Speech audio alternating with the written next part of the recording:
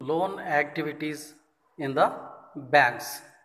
So here yesterday we discussed the bank runs by receiving the deposits from their customers.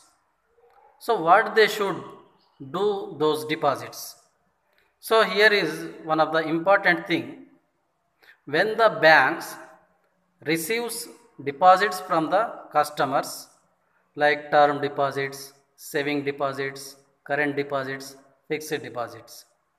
So in that entire deposits, the bank kept only 15% of the cash in the bank. The remaining 85% of the cash gives to the needy persons in the form of the loan.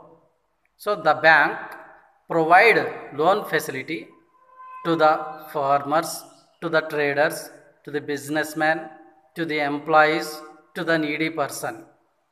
So in this way, the bank receives the deposits from the customers.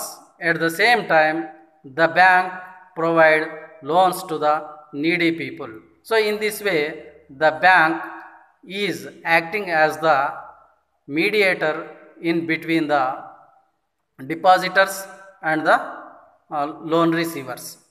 So here, when we deposit some of amount in the bank, the banker gives us somewhat interest.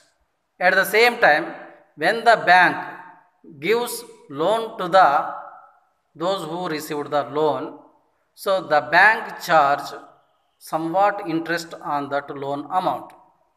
Here what we have to observe is the interest rate what collecting the banker from the uh, those who taken the loan is less what they giving interest to the deposit holders. So the difference of the interest is the profit of the banks.